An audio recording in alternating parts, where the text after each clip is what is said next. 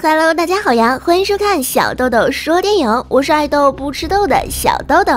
今天要给大家带来一部女孩从小加入黑社会，长大后知道真相后一路复仇的电影《恶女》。女一阿美从小父母双亡，被罪犯组织培养成杀手，后来被情报组织看中，重新给予新的身份，给国家效力。女二女部长，国家情报组织负责人。男一大叔，阿美的老公，某罪犯集团的头目，最后死在阿美的手上。男二秀贤，国家情报组织一员，喜欢阿美，最后为了阿美付出了生命。故事开始，一个女杀手独自一人手持双刀找上了韩国某帮派。女子是过关斩将，不管对方人多，用斧子还是手枪都没能伤其分毫，一路杀的是鸡飞狗跳。感觉有整个世界我最强的意思，终于杀到了最后一关。可对方不管有多强壮，有多少人，女子凭着两把西瓜刀都能轻松解决。这么强大的光环，就是我们的女一号阿美。而她所杀的呢，正是国家追击了一个月的朴某团伙。这倒是给国家省去了抓捕罪犯的力气啊！阿美这样的人才被情报组织的部长看中，很快就被警方人员控制了起来。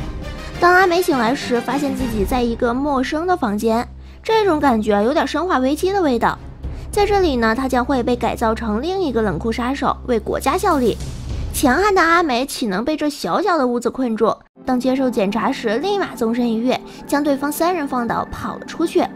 可跑着跑着，来到了一个舞蹈房，又经过一个厨房间，借着一把匕首挟持了一男子，又来到了一个话剧舞台，又经过了一个化妆室，才跑了出去。这到底是什么地方呀？这里的人都在忙碌着什么？将他带到天台的是他们的部长。部长对他说：“想活命就跳下去。”说着，部长先做了一个示范。阿美紧追其后。就在半空时，部长一枪将阿美射晕了过去。而这一切呢，都被情报局的秀贤看在眼里。他似乎对该女子有着莫名的感觉。带回去的阿美只有一条路，因为她肚子里有了孩子。为了孩子，只有活下来。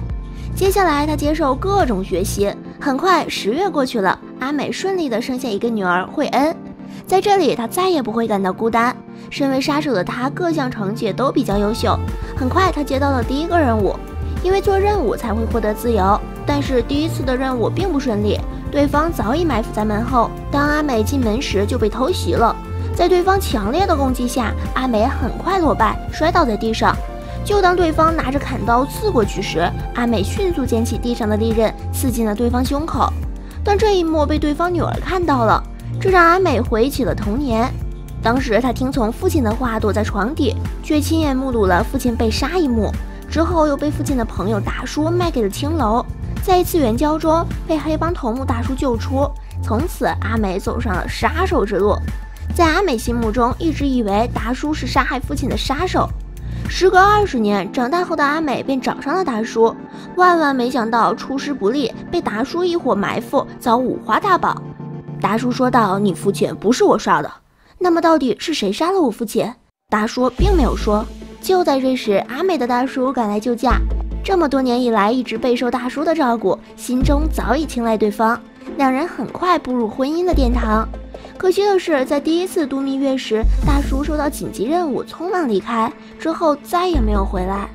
从手下口中得知，大叔的死是某黑帮所为。于是阿美孤身一人找到了黑帮，将对方连锅底都给端了。这也就是故事一开始，阿美一人屠杀了整个黑帮的镜头。阿美完成第一次任务后，就以新的身份离开了这神秘的训练基地，住进了普通住宅区。而他的邻居也是刚搬进来的秀贤。身为情报局的秀贤，主要的任务就是接近阿美，监视阿美。不过他是打心里喜欢阿美。之后，秀贤是各种献殷勤，送披萨、拦公交、陪购物、送雨伞。哇，这难道是天上送来的男神吗？常年没有温暖的阿美很快被打动，敞开了心扉，两人坠入了爱河。由于杀手本质上是一脚踩在地狱，一脚踩在监狱。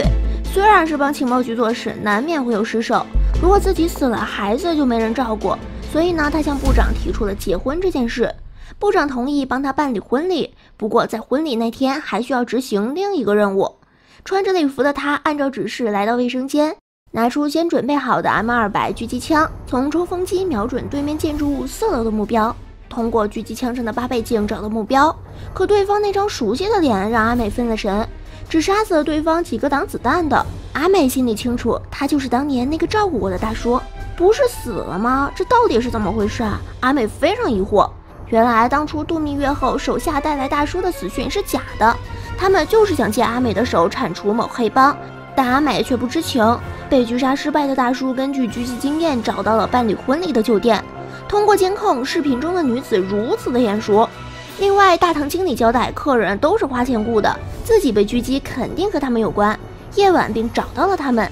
借着秀贤接电话的时间，大叔找上了阿美，两人坐下来聊了几句。阿美两眼湿润，却不想相认。大叔知道自己亏欠阿美，两人都没直白的交流。大叔说了一句对不起，并离开了。而秀贤和部长的通话被大叔手下的人给录了下来。次日，并通过花的方式将聊天信息送给了阿美。阿美听到了两人对话，泪流眼眶。这到底什么才是爱呀？结婚居然只是个任务。阿美此时感觉关心她的人只有大叔，并按照明信片上的联系方式通知大叔，有人要暗算他。刚准备出电梯的杀手就被大叔埋伏好的人擒住了。部长眼看任务又一次失败，只好将阿美抓了回来。部长的要求，只要她杀了自己老公，就可以和女儿还有秀贤过上幸福的生活。两人交谈之际，部长电话响起，对方要求交换人质，部长只好带着阿美前往目的地。没想到半路被对方袭击，车内人员伤亡惨重，部长也受伤晕了过去。阿美被大叔成功救出。临走之际，阿美想带着女儿一起离开，并开车回去接上女儿。刚到楼下，只听一个爆炸声，秀贤抱着女儿从高空坠落，秀贤和女儿不幸离开了人世，唯一的生存希望都没有了。阿美心中清楚，一定是部长干的。可当他找到部长时，才真相大白：大叔救自己的同时，另一拨人早已埋伏在阿美家。秀贤一进窝就被对方控制了。等到阿美赶到楼下时，手下立即按下了炸弹，而大叔救阿美只是为了掩盖事情真相。看到这里的结果，让阿美很难接受。原来自己被大叔利用，想借手杀了情报局杀手组织。没想到闭路监控记录了一切。阿美为了给女儿报仇，立马找到了大叔。一见面，两人含情脉脉慰问了几句，说完就展开了最后的激战。从主厅打到了客厅，从客厅打到了窗外，又从窗外打到了公交车上。生命力顽强的他一直努力着，在车上他杀了所有的喽啰。眼看不敌大叔，制造车祸，砍掉了驾驶员的手臂，公交车突然侧翻，阿美并没有死，缓缓地站了起来，走到了大叔跟前，带着爱与愤怒，一斧头砍了下去。他就是一个传奇，又一次摧毁了一个黑帮。本片呢，基本是从头打到尾，一部商业片的标准就一个字：爽，看得过瘾就行了。而阿美的身世描绘的太过于凄惨。从小父母双亡，被黑帮培养成杀手，只是为了加以利用；被情报组织培养，只是为了惩奸除恶。最后呢，还是一场空。感兴趣的小伙伴可以下载看看。下面神评区就交给你们啦，感谢大家的观看，这里是小豆豆说电影，点击关注不迷路。我们下期受害影片再见，嗯。